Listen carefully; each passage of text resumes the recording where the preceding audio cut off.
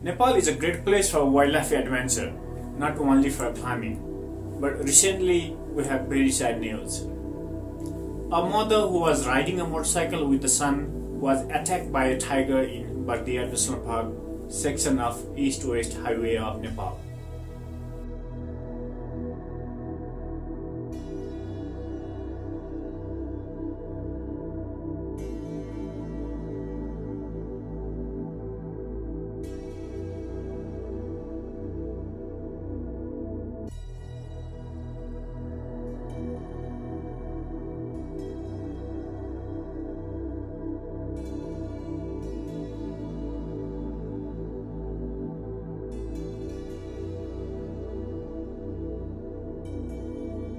According to the Bardia National Park, the mother is missing and her son, who was driving the motorbike, has seriously injured.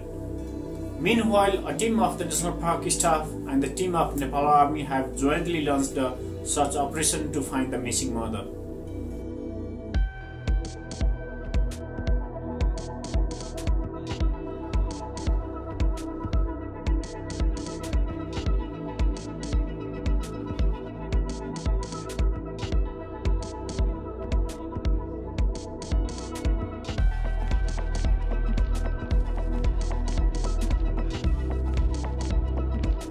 Finally, they found dead body of the mother with separate leg from body and most of the body part was eaten by the tiger already.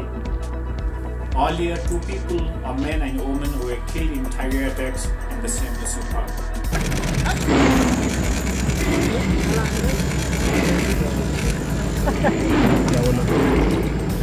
People living near the Bardia National Park, they are suffering from the tiger attacks again and again. According to the national park officials, the park is doing its best to identify the killer tiger and bring it under control.